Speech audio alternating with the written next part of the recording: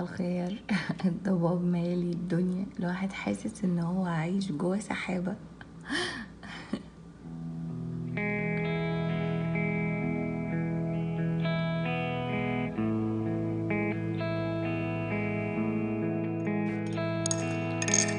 أكيد خلاص عرفتوا إن أنا بحب القهوة. بحب ريحتها. بحب طعمها المميز. بحب أحلى حاجة فيها وهي إنها بتخلق حوار. عايز تشوف حد قوله تعالى نقعد على قهوة أو تعالى أعزمك على قهوة. عايز تتكلم مع حد؟ خد له كوباية قهوة. صباح الخير. آه لما بصحى الصبح دايما بدعي اللهم اغننا بحلالك عن حرامك. لأني دايما بخاف إن ربنا يحللنا طعم الحرام. وللأسف في ناس كده. في ناس ربنا ابتلاهم ابتلاء كبير قوي قوي قوي إن هو حللهم طعم الحرام وحرم عليهم طعم الحلال. وده على فكرة مش في الفلوس بس.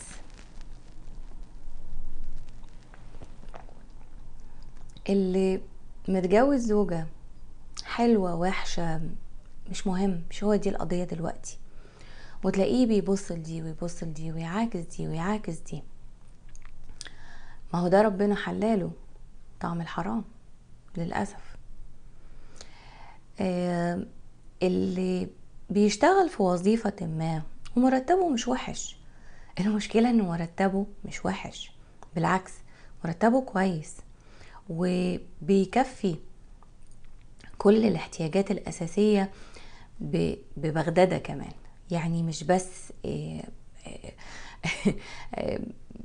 ما بيكفيوش غير إن هو يجيب يا دوبك حد الكفاف لعيلته لأ بالعكس تلاقيه عنده عربية وعنده وعنده وعنده وزراء مسؤولين كبار ناس كبيرة قوي ومرتباتها حلوة ووضعها حلو وامتيازاتها حلوة ومع ذلك تلاقيه برضو يرتشي يستخدم منصبه عشان ياخد منفعة معينة. إيه وال يعني والدرجات بتختلف. يعني في ناس بتسرق الحاجات الصغيرة وفي ناس بتسرق حاجات الكبيرة. وده غلط وده غلط وده حرام وده حرام. في كتير قوي يقولك ما هو سايبين الناس الكبيرة وجايين على الصغير. لا. مش هو ده. مش عشان الإنسان صغير. مش مش عشان الإنسان مرتبه صغير. يبقى يعني ده تحليل لحاجة حرام. إحنا نحلل له حاجة حرام. ما ينفعش. ما ينفعش. وبخاف جدا جدا إن في لحظة من اللحظات يعمى بصري. وما بقاش قادرة أحكم على الصح والغلط. ما بقاش قادرة أحكم على الحلال والحرام. أحيانا بنعمل حاجات معينة عشان جو العمل يبقى لطيف وجو العمل يبقى حلو. بس دي بتبقى عارفين كده زي ما نعمل أكلة حلوة قوي ونزين وشها كده بشوية حاجات لطيفة شوية فستق بندق. لكن الأكلة كلها مش هي ده. فلما نتكلم في الشغل ونتبادل الحوار وال... والكلام اللطيف مفروض ان ما يبقاش ده كل الشغل. للأسف للأسف. كنت بتكلم مع مع شخص عزيز عليا وبيكلمني على إزاي بيقضوا يومهم في الشغل بتاعهم. بيقول لي لا إحنا في الشغل لينا طقوس. نروح الصبح هتاكل إيه يا فلان؟ مدام فلانة أستاذ فلان هتاكلوا إيه؟ واحد ياخد ورقة ويروح يجيب لنا الفطار ونقعد وناكل ونفطر. والفطار فطار زي اللي إحنا يعني بنفطره في, بيوتنا. لما نبقى يوم الجمعة وقاعدين مرتاحين. وماما تبقى عاملة لنا بقى فول معرفش بإيه وطعمية بإيه و... و... وبيت شكشوكة وكذا وكذا وكذا ويبقوا قاعدين عاملينها غديوة. بتاخد قد إيه من وقتهم؟ آه يعني ده الفطار بتاع الصبح ده بتاع ساعتين. ساعتين؟ يعني خمسة وعشرين في المية من الوقت. بيضيع في الفطار. ربع الوقت اللي بتاخد عليه مرتب بيضيع في الفطار الصبح ومدام فلانة ومدام علانة وده الطبيعي العادي وده الحلو. والناس اللي بقول لكم عليها دي متدينة. بتتكلم في الدين وبتناقش الدين. وبعدين يقول لي بقى إيه؟ أيوه طيب وبعدين الشاي بقى.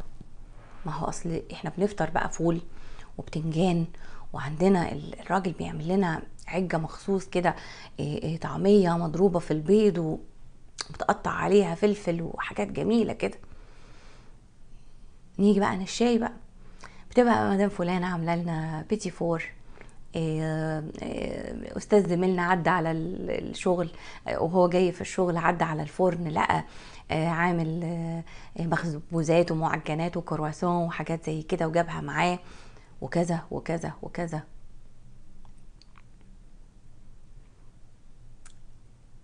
إيه ده؟ ليه كده؟ حرام. إحنا بنستحل لنفسنا حاجة حرام. إحنا مفروض بنشتغل. وبنقدم خدمة. وزي ما إحنا بنأثر على فكرة في حق الناس الناس التانية بتأثر في حقنا. لأن عارفين في سلف ودين. الدنيا كلها سلف ودين. زي ما انت بتعمل هيتعمل فيك. زي ما انت بتستحل لنفسك انك تقعد في الشغل عشان تفتح الواتساب. أنا بلاقي ناس بت بترد عليا. وبتبعت لي في اوقات ده وقت شغل عندها. أنا ممكن مثلا في, في الوقت اللي أنا بستقطعه لنفسي في وسط النهار ولا حاجة عشان أشرب قهوة عشان أعمل كذا أعمل كذا أبقى واقفة بفر السيلفون بتاعي وأشوف وأعمل لايكات و و وممكن أكتب تعليق هنا أو تعليق هنا. ده العادي. في ناس بترن عليا من وقت شغل وقت دوام عايزين يتكلموا معايا. وأنا عارفة ومتأكدة انهم بيشتغلوا. دي مأساة في حق نفسنا ان ربنا يكون محللنا طعم الحرام. وزي ما بقول لكم الحرام مش الحاجات الفظيعة قوي. واحد بيرتشي واحد بيرتكب خطيئة الزنا واحد بي بي بيسرق واحد بيقتل. الحرام هو السفاسف كمان الصغيرة. اللي ممكن تبقى موجودة في حياتنا. و... وبتاخد كل الحسنات بتاعتنا بتاخد كل الحاجات الحلوة اللي في حياتنا وتبقى حياتنا مليانة مرارة ومليانة حاجة وحشة. مثل تاني من الأمثلة اللي ربنا ممكن يبتلينا بأنه يحللنا يخليه طعمه حلو الحرام إن إحنا نتكلم على بعض. إيه لكن لما نبقى بنتكلم على ناس مع بعض أنا عارفاها وصديقتي عارفاها وبنتكلم عليها وبنعيب عليها آه ولا وهنقول مثلا بنشتكي. نبقى كده واقعيين وصريحين مع نفسنا. لحسن تكون الشكوى دي الغلاف الجميل بتاع الغيبة والنميمة. زي حد زعل مني. أو لا خلينا نعملها أنا زعلت من حد. إنسانة عملت موقف زعلني وضايقني. في لينا صديقة مشتركة. هل بتكلم معاها في السر؟ ما تقوليش ودي عملت وسوت. ولا جاية لها عشان تحل المشكلة اللي بينا وبقول لها فلانة الفلانية عملت كذا كذا كذا. إيه الحل؟ أعمل إيه؟ دي ممكن تكون مش غيبة ولا نميمة إن إحنا فعلا زعلانين ومش عارفين نتصرف مع مع هذه ال ال ال الصديقة. فبنطلب مساعدة بنطلب مساندة بنطلب حد يتدخل بنطلب حد يدينا رأي كويس. لكن لما نبقى بناكل في بيت واحدة والأكل مثلا فيه مشكلة فيه عيب ولما تبقى مش موجودة نتكلم إن الأكل كان كذا وكذا وكذا وكذا ومش عارف إيه والكلام ده. أو لما نشوف حد بيعمل حاجة معينة أو لما الأمثلة كتيرة قوي قوي قوي نخاف أنا بخاف قوي قوي من الحاجات دي. كلنا بنعمل خير كتير. كلنا بنساعد كلنا بندفع صدقات كلنا ب... ب... لما نشوف الراجل اللي جاي يمسح السلم بنديله فلوس لما نيجي نشوف مش عارف إيه بن... بنعمل إيه بنسوي إيه. ونيجي قاعدة من القعدات دي كل حسناتنا تطير في الهواء بنروح شغلنا مفروض إن إحنا بنثاب على هذا الشغل. بناخد ثواب غير إن إحنا بناخد مرتب وبناخد فلوس بناخد ثواب. يعني العمل عبادة ربنا سبحانه وتعالى خلقنا عشان نعمر الأرض.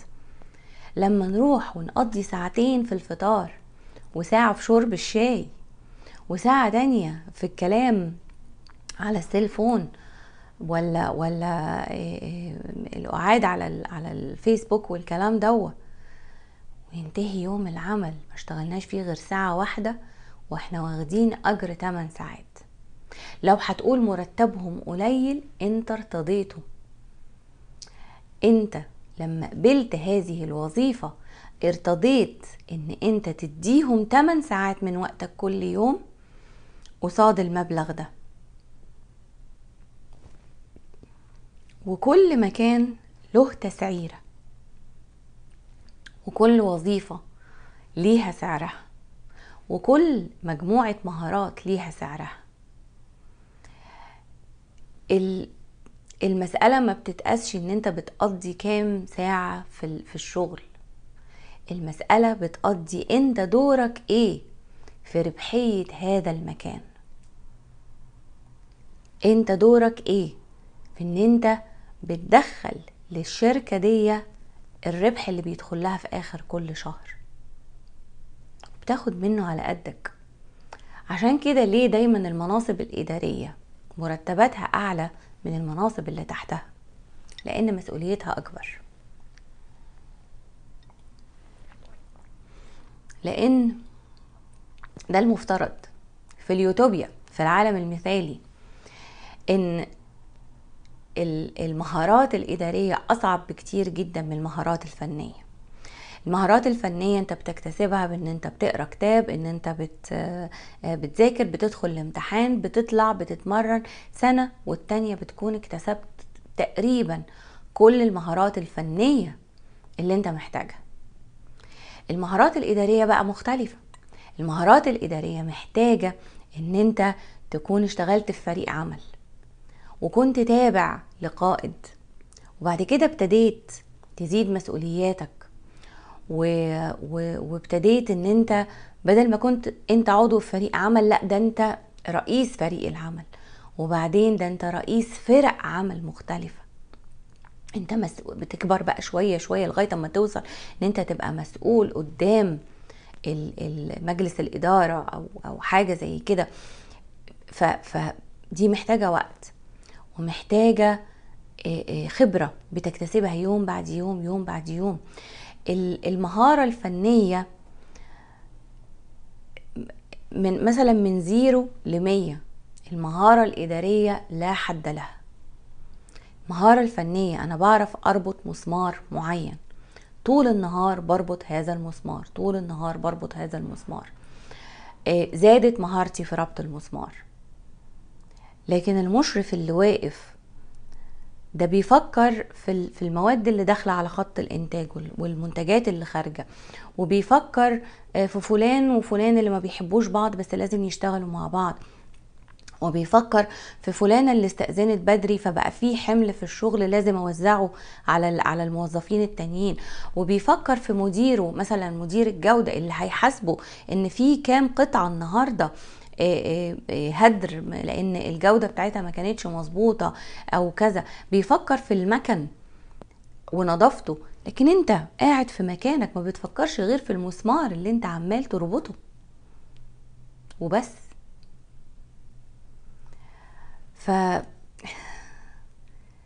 اللي صحيت بيه النهارده إحساس يمكن عشان حاجات قريتها امبارح إحساس إن ده غضب من ربنا سبحانه وتعالى على البني آدم إنه يكون محليله طعم الحرام. يكون محسسه كده يحس آه ده أنا الواد الفرود اللي لما أشوف واحدة حلوة اعكسها وأبعت لها في ال في الانبوكس بتاعها عشان يمكن تكلمني يمكن كذا يمكن كذا. أو أو زميلتي في الشغل أحكي معاها وأقعد ما إحنا وشنا في وش بعض بقى فنحكي بقى ونعمل علاقة. أو أدخل أعمل شات مع واحدة وتبعت لي صورها وبهبله يبعت لها فلوس وتطلع في الآخر. ولا حلوة ولا بتاع ولا ولا بتحبه ولا الكلام ده وبتتكلم مع عشرين واحد وبتاخد من ده فلوس ومن ده فلوس ومن ده فلوس. و... ليه؟ ليه؟ هل ده مظلوم؟ لا ده مش إنسان مظلوم. لا.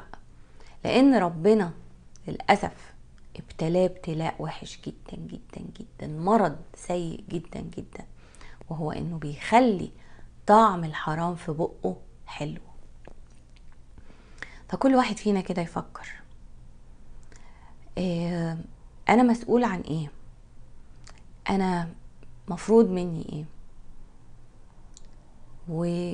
وندعي ربنا اللهم اغننا بحلالك عن حرامك. في كل في كل ال... ال... ال... ال... أنحاء حياتنا في كل مجالات حياتنا مع أولادنا مع جوازاتنا في شغلنا في الشارع مع قرايبنا مع أصحابنا. إن ربنا سبحانه وتعالى ينور بصيرتنا فنشوف الصح صح ونشوف الغلط غلط. نشوف الصح صح فنعمله ونشوف الغلط غلط فنتجنبه.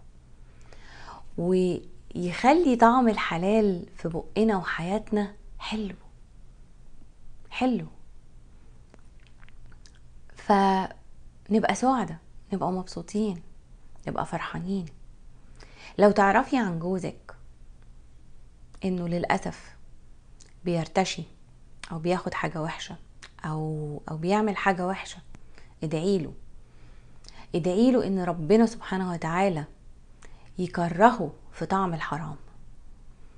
يبقى فيه من جوه كده نفور نفور من الحاجات الوحشة. إنه لو اختلس لحظات عشان يعمل حاجة وحشة من ورا ظهرك يتأنب ضميره يأنبه ويكره هذا الشيء. فلما يجي يقدم عليه مرة تانية يبقى قرفان. ويسيبه. ادعي لنفسك إن ربنا سبحانه وتعالى ما يحليش الغيبة والنميمة والكذب والشكوى والافتراء على الناس وترويج الإشاعات ما يحليهاش في بقك.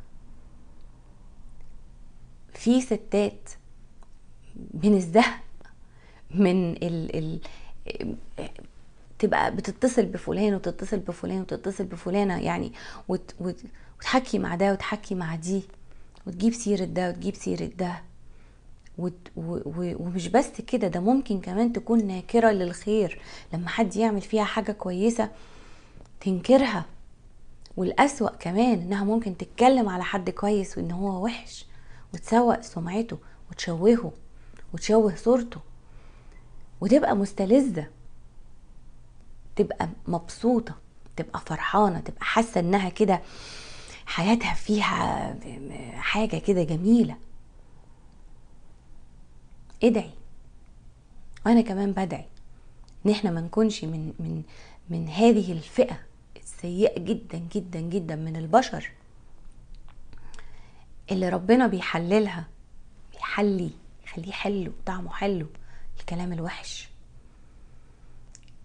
الكلام الوحش بقى من شتيمة من من غيبة من نميمة من من من من ترويج إشاعات من من whatever. كله كله. ولا إن إحنا نستمرئ إن إحنا ناكل حاجة مش من حقنا. حتى ولو إن إحنا نقصر في شغلنا فيبقى الفلوس اللي بناخدها مش حلال. يبقى مرتبنا اللي مفروض إنه فلوس حلال نحوله إحنا إنه يبقى مش حلال. صباح الفل. هقول لكم بقى إيه أروح أشوف شغلي وأشوف حالي وفكروا قوي في الكلام اللي أنا بقوله لكم. يمكن أشوفكم بعد شوية.